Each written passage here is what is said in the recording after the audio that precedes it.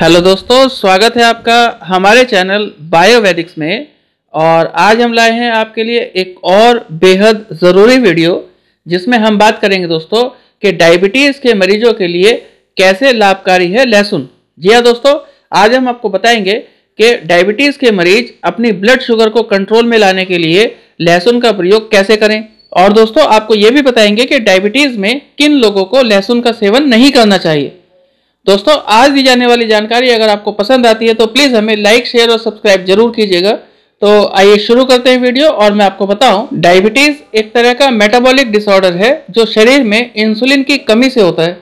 दोस्तों, आप समझिए कि डायबिटीज़ के मरीजों को अपने खान पान का विशेष रूप से ध्यान रखने की ज़रूरत होती है, क्योंकि खान पान के कारण ही कहीं ना कहीं ब्लड में ग्लूकोज की मात्रा अनियंत्रित होती है, यानी कभी ब्लड शुगर बढ़ती है और कभी ब्लड शुगर घटती है।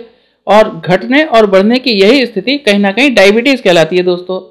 मैं आपको बताऊँ कि अगर आपको डायबिटीज़ है तो लहसुन आपके लिए कहीं ना कहीं कमाल कर सकता है। यानी डायबिटीज़ के मरीजों के लिए लहसुन औषधीय गुणों से भरपूर होता है दोस्तों।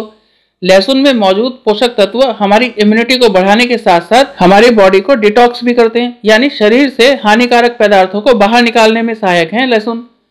दोस्तों, लहसुन में जो मौजूद एमिनो एसिड हैं वो हमारे शरीर में होमोसिस्टिन की मात्रा को कम करते हैं और इसी कारण कहीं ना कहीं हमें हार्ट अटैक का खतरा भी कम होता है और ब्लड में ग्लूकोज की मात्रा भी नियंत्रित रहती है। तो दोस्तों, बात करें कि कैसे खाने हैं लहसुन तो इसके लिए कुछ खास तरीके हैं। आप समझिए कि पहला तरीका तो यह है कि आप लहसुन की एक दो कलियाँ रोज़ाना सुबह खाली पेट कच्ची चबा जाइए। ये आपके लिए सबसे बेहतर तरीका है। लेकिन अगर आपको ऐसा पसंद नहीं है तो आप लहसुन को बारीक कद्दूकस करके सलाद के ऊपर डालिए और फिर सलाद के साथ खाइए लहसुन। ये आपको टेस्टी भी लगेगा और काम भी पूरा करेगा। फिर एक और तरीका है दोस्तों कि इन्हें पका करके भी खा सकते हैं। यानी लहसुन की सब्ज़ी बना करके खाइए, ये बहुत टेस्टी लगती है, इसका स्वाद भी बेहतर है और गुण भी भरपूर है। फिर दोस्तों एक और तरीका है कि आप लहसुन की चाय यानी गार्लिक टी बना करके पी सकते हैं, रोज़ाना सुबह खाली पेट। और ये कोई सा भी तरीका अपनाइए, ये सभी आपको काम करेंगे। फिर दोस्तों बात करें कि कौन लोग हैं जिन्हें लहसुन नहीं खाना चाहिए। तो इसमें आप समझिए कि अगर आप एसिडिटी की समस्या से परेशान हैं, आपको गैस बन रही है या आपका पेट दर्द है या पेट फूल रहा है तो ऐसी स्थिति में आपको लहसुन का सेवन नहीं करना चाहिए, समस्या बढ़ सकती है।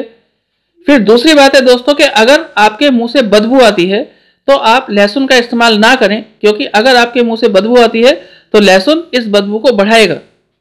फिर दोस्तों एक और कंडीशन है कि अगर आपको सर दर्द रहता है बहुत सारे लोगों को ब्लड प्रेशर की समस्या की वजह से सर दर्द रहता है।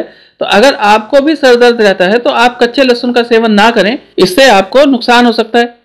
तो दोस्तों, आज के लिए इतना ही, और वीडियो देखने के लिए धन्यवाद। आज दी गई जानकारी अगर आपको पसंद आई हो दोस्तों तो प्लीज़ हमें लाइक और शेयर ज़रूर कीजिएगा। और अगर आप हमारे चैनल पर नए हैं तो प्लीज़ हमें सब्सक्राइब भी करें। धन्यवाद।